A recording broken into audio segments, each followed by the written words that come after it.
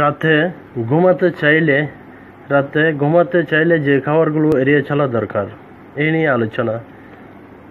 ঘুমানোর আগে বেশ কিছু খাবার খাওয়া উচিত নয়। এসব খাবার যেমন ঘুমানোর সময় ব্যাঘাত ঘটাতে পারে, তেমন আরও কিছু শারীরিক অসুবিধার কারণ হতে পারে।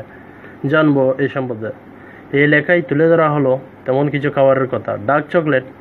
ডার্ক চকলেট স্বাস্থ্যের জন্য ভালো, তাই প্রতিদিনে সীমিত পরিমাণে এটি খাওয়া যেতে পারে। কিন্তু ঘুমানোর আগে ডার্ক চকলেট খাওয়া উচিত নয়, কারণ ডার্ক চকলেটে রয়েছে ক্যাফিন আর এটি ঘুমের ব্যাঘাত ঘটাতে পারে। Nut butter.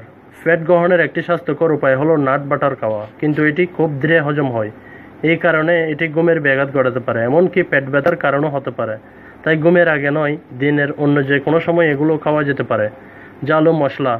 ঘুমানোর আগে মশলাযুক্ত খাবার খাওয়া ঠিক নয়, এটি পেটে গ্যাস সমস্যা সৃষ্টি করতে পারে। ফ্যাট ও তৈলাক্ত খাবার উচ্চ ফ্যাটযুক্ত তৈলাক্ত খাবার ঘুমানোর আগে একেবারে খাওয়া উচিত নয়।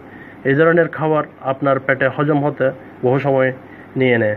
আর এতে ঘুমের ব্যাঘাত ঘটে। চাইনিজ চাইনিজ খাবারের বেশ কিছু উপাদান ব্যবহৃত হয়, যাতে ব্যবহার করা হয় মনোসোডিয়াম, গ্লুকোমেট ও ফ্লেভার এনহ্যান্সার এইসব অনেকটা ক্যাফেইনের মতোই কাজ করে এবং ঘুমের ব্যাঘাত ঘটায়। বাজাপুরা বাজাপুরা খাবারের প্রচুর পরিমাণে মনোসোডিয়াম, গ্লুকোমেট থাকে, যা ঘুমের সমস্যা তৈরি করে। আর তাই এগুলো এড়িয়ে চলা উচিত। লাল মাংস ঘুমানোর কমপক্ষে চার পাঁচ ঘণ্টা আগে রেড মিট বা লাল মাংস খাওয়া শেষ করতে হবে। কারণ এটি বিএমআর রেড বাড়িয়ে শরীরের তাপমাত্রা বাড়িয়ে দেয়, ফলে ঘাড়ও ঘুম আসে না। ভাত।